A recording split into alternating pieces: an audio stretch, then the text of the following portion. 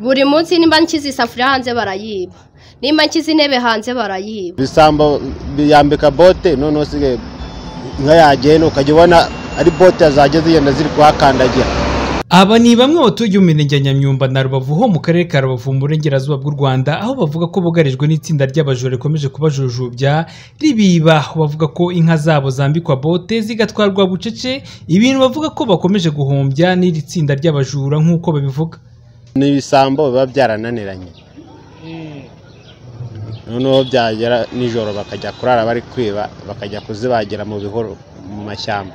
Ni uko umuturage yigurira inka noneho mu cyimbo cyo kuyorora ibisambo bikaza bikayiba bikabimuteza ugasanga wa muturage asubiye inyuma. Hari ukuntu ibisambo bigera gutya bikaza no mu kiraro bikayambika na bote aho. Ibisambo biyambika bote noneho usigaye inka yagenda ukajya ubona ari bote zajya zigenda ziri kuhakandagira. Ni umugozi batamikamo umunwa ku buryo itanga umunwa. Noneho bamara kugipfumura mu twenge duto duto irahumekera bagafata umugozi bakazirika bagahambira. Ishyamba rya leta aba ari rigari aba ari rirerire cyane. Ubwo rero ibisambo ni ho bigenda bikajyana ya nka ugasanga bayibaza ni inka bigeze kwiba nta kujya mu kabirizi. Izindi ni ihene eshatu zano haraguru muri matebusi ariko ubwo nyine ni ibisambo ntiwamenya ngo ni ibihe? Ariko ibisambo byo bijujubije abaturage. Bijujubije abaturage kuko biri kubiba biri kurara byiba. Zambika amabote bakaziba bakazijyana kuzibaga. Buri munsi nimba nshyize isafuriya hanze barayiba.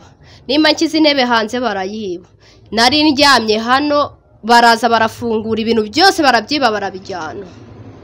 Nongera gutangira kuri zeru inka baraziba ibintu ducuruza barabyiba mu nzu binjiramo bakatwiba. Mbese abajura baratuzengereje. Kuri izi mbogamizi abaturage bagaragaza ko hakazwa umutekano mu gukoma mu nkokora umugambi mubisha w'ibyo bisambo icyifuzo ni uko kazi ingamba ahubwo umutekano mwinshi n'irondo ryinshi. Kugira ibyo bisambo bihashywe ni uko baduhereza abanyamutekano bahagije. Ni ibintu bikomeye cyane ntabwo byoroshye. Ku murongo wa telefone twavuganye n'umunyamabanga nshingwabikorwa w'umurenge wa rubavu bureze harerimana atubwira ko ku bufatanye n'inzego zishinzwe umutekano batangiye gufata ibyo bisambu yego ibikorwa byo gufata abajura no kubaca intege birakomeza. Kugira ngo uyu munsi hari ibyakozwe ni ukuvuga ngo ni ibikorwa by'inzego habaho ubufatanye hagati y'inzego zishinzwe umutekano z'ubuyobozi ku buryo abagaragara muri icyo kibazo barafatwa kandi ngira ngo ni ibintu ni ukuvuga ngo abajura baba bahari ariko n'uburyo bwo kubarwanya burahari ku rwego rwo hejuru. Ubu rero navuga ngo birahari birakomeza buri gihe buri gihe aho bigaragayeho abantu baha amakuru turayakoresha kandi ntabwo bizamuka biragabanyuka kandi tuzakomeza. Hanyuma ahagaragaye ikibazo nk'iki ngiki kijyanye n'umutekano tugafatanya gutanga amakuru kugira ngo twese nk'ababishinzwe dufatanye twe gutuma abanyamakuru baza kugaragara nk'aho ari bo ikibazo cy'ubujura by'umwihariko abibi nk'asi ubwa mbere cyumvikanye mu itangazamakuru muri aka karere ka rubavu aho umunsi ku munsi kigenda gifata indi ntera ariho abaturage bahira basaba ko cyarandurwa burundu ubwo bujura bukavanwaho aborozi bakagira ituze. Janvier kamanzi btn tv mu karere ka rubavu ho mu burengerazuba bw'u rwanda. Mu minsi yashize ni bwo BTN TV yabagejejeho inkuru y'abaturage batuye mu karere ka Kamonyi mu murenge wa Runda ho mu kagari ka Kabagesera bavugaga ko ngo ibibanza byabo bigenda bikatwamo uko byishakiye ngo kandi igishushanyo mbonera cy'akarere cyaragaragazaga aho umuhanda ugomba guca ariko ngo bagafata ibibanza by'abakene akaba ari byo banyuzaho umuhanda iby'abakire bakabyihorera. Abaturage ibi ni byo bagarukagaho icyo gihe. Bavuga ko ngo hano ngo ari mu buhinzi ariko bamara kurya amafaranga nk'umuntu waguze ikibanza hariya hepfo yarubatse. Noneho bakaza bagakata imihanda uko bishakiye bagateza za boroni tutanahari uku nguku bimeze ubu baranduye iriya shyamba ryanjye bamanura hariya kandi ahantu h'abakire ntibageramo. Nk'ariya uriya turaturanye akora mu butaka ntibigeze bakandagiramo. Hariya bapimyemo umuhanda babaha amafaranga bahita bawica bubakamo inzu. Ariko mu kwanjye hose barahamaze. Guturuka hariya barandura ishyamba bakatisha bajyana hariya kuri hariya mazu. Abaturage batuye mu kagari ka gihara ubu ngubu bo barishimira ko imihanda iri gucibwa barimo gushyiramo rigori ngo ikindi kandi ngo ubuyobozi ngo bwabegereye ngo bukabaganiriza ngo kuri ubu ngubu nta kibazo bagifitanye na ba rwiyemezamirimo. Ngo kandi ibibanza byabo bitewe ngo n'imihanda bari gucamo ngo bizatuma bigira agaciro. Imirimo biramfasha kubera yuko nabonyemo akazi kandi noneho cyiza nabonye kino mihanda n'abantu badafite imiriro bagiye kuzadushyira amapata ku mihanda ku buryo n'udafite imiriro nawe azawubona. Twebwe nk'ahantu dutuye ndemeye hirya muri rukaragata. Ariko wenda nk'abafite imirimo ku muhanda yuko imihanda iba yongereye ikibanza agaciro. Eh, nk'aho baguhaga nka miliyoni eshatu ni urugero bakaba baguha nka miliyoni esheshatu. Kandi urabona nk'ubu imashini irimo gucamo nimara kuvamo duhita twihutisha guhita dushyiramo rigore tugakanaliza amazi kugira ngo agende ataba yajya gusenya nk'umuturage ndetse zi- natwe twajya tuzibona icyo twihutisha ni ugukora rigore kuko imvura ishobora kugwa. Abo bakozi nabo bari- barimo inyuma yo kugenda bazikora. Imihanda ikintu kigiye kudufasha ni ukuvuga ngo iterambere tugezeho mbese. Iyo tugisigaye kizagira agaciro. Wanjye nta kibazo. Na- ntabwo bawutwara bose. Bawutwaraho nyine. Intwaye kubera ko nawe uzaza kuhagura. Tubone ku muhanda nzamutegeka. Ntabwo aho nshaka kubera ko hegereye umuhanda imodoka niba afite imodoka azahita turubika Abizeyimana Vedaste ni rwiyemezamirimo ukorera muri aka gace we avuga ko ikibazo n'ubundi bakunda guhura na cyo ari uko abaturage rimwe na rimwe batumva gahunda za leta ngo gusa bafatanya n'akarere ngo bakaza bakabigisha ngo ku buryo ibikorwa byose bakora ngo kugeza ubu ngubu basigaye bumvikana n'abaturage ngo nta kibazo na kimwe bakigirana. Harimo nk'ibi eh, nakisubiza mu buryo bubiri.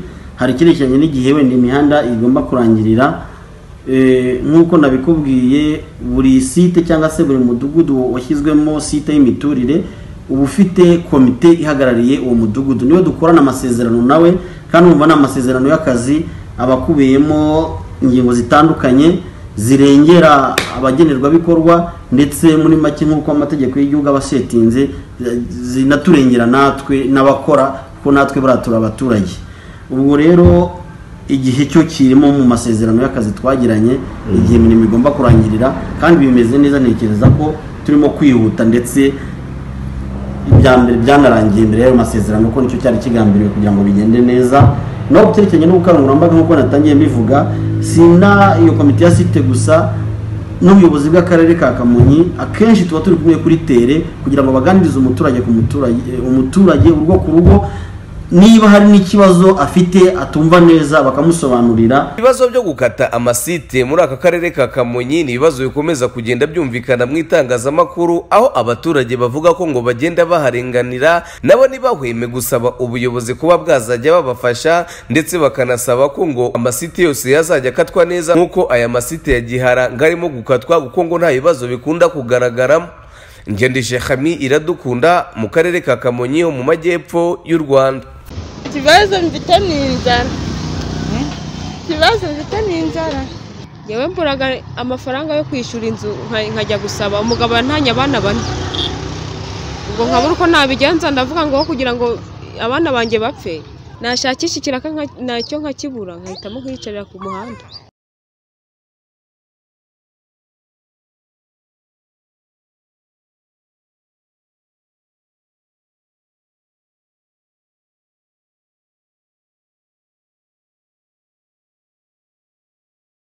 Yewe mburaga amafaranga yo kwishyura inzu nka- nkajya gusaba umugabo yantanye abana bane. Ubwo nkabura uko nabigenza ndavuga ngo kugira ngo abana banjye bapfe nashakisha ikiraka na cyo nkakibura nkahitamo kuyicarira ku muhanda. Bikanjyana kure nkumva no kwiyahura nakwiyahura. Gusa numva no kwiyahura nakwiyahura kure iyo ndebye abana nkabona ukuntu bari kundirana mu nzu nareba na nyiri inzu nawe uko ari kunyishyuza nta hantu mfite ho gukura nkahitamo aja- nkajya kwicara mu muhanda. Ngenda sabaga nsabaga abakire. Nsabaga abakire kugira ngo ndebe ko abana banjye babona ibirayi byo kurya. Ubukene bwose ni ubukene bwa mbese ni ubukene bwatumye dusaba. Abana barwara nkabura mituweli ubwo mbese nkumva binjyanye kure nkumva no kwiyahura na nakwiyahura. Ariko kubera imana nka- nkavuga ati reka njye kwicara mu muhanda. Ubuyobozi burakizi bigeze no kudukorera impapuro ngo bagiye kuduha amafaranga yo gucuruza ibipapuro bihera mu kagari ka rukoko. Ikibazo mfite ni inzara. Ikibazo mfite ni inzara. Mbayeho mu bushobozi bukeya. Ni ubukene bituma njya mu muhanda. Ntabwo njye nagakwiriye kujya mu muhanda niko n'ubukene n'ubushobozi. Mama ngaba ngendaga ngamuvuga ati "Nga- kangenda mu muhanda kuba katashoboye. Ngende gushaka niwenda mutekera ifu y'igikoma niba ari ijana ndagenda mushakira uburyo namubeshaho. Nganjye mukuru ni njyewe wasigaye mu nzu mukuru wanjye nawe afite urugo n'abana bata- batandatu. Ngaba nibeshaho gutya gusa njyenyine. Ni ababyeyi baba birirwa hano mu muhanda basabiriza. Nta nukurirwa mu muhanda n'abana babo. Oya bitewe na no kubura akazi babura akazi ubwo bagasaba hano mu muhanda hamwe n'abana babo. Ni inzara iki gitera umuntu si ubusabiriza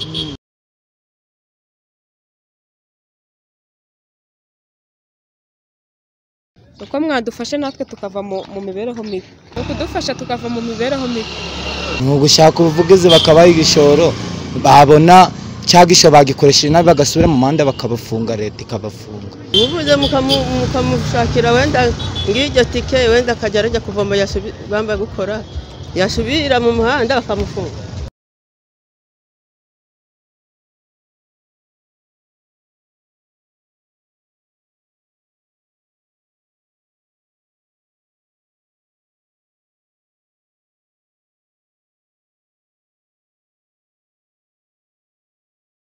Kugira ngo iyo bigaragaye mbere twegerana nabo tukareba ni iki gishoboka hari ubushakashatsi butandukanye bwo mu rwego rw'imibereho myiza y'abaturage. Dushobora gufasha mu buryo bw'inguzanyo za viyupi bigaragaye ko ari abantu batuye bafite aho bari hazwi ku buryo no kwishyura bishoboka. Icyo ni kimwe ariko nk'ibyo bijyanye n'abana niba afite nk'ikibazo cy'imirire mibi hari igihe twitorana tukareba hari porogaramu zitandukanye zihari zifasha ku buryo icy'imirire mibi cyo mu by'ukuri ntabwo cyakabaye kiba kitunanira. Ubwo icyo abantu bakora ni ukwicarana nabo mu buryo buri sipesifike noneho kigasuzumwa muntu ku giti cye. Eh, ariko ibisubizo byo biraboneka. Mm. porogaramu zisanzwe tura- turabafasha. Ikibazo ntakihererane. Hanyuma twebwe nabo dufatanye kuko hari abo dusanga bitewe n'aho tuzi wenda bakorera ariko hari n'abo wenda yicara akavuga ati negeranye n'akagari se negeranye n'ubuyobozi bw'umudugudu. Umudugudu babona kidashoboka gukemuka bakakizamura ku rwego umuturage abona igisubizo. Yakomeje avuga ko hari ibisubizo kuri iki kibazo ngo kuko banafite amarero asigarana abana anabitaho anabaha indyo yuzuye ngo bityo ko byaborohera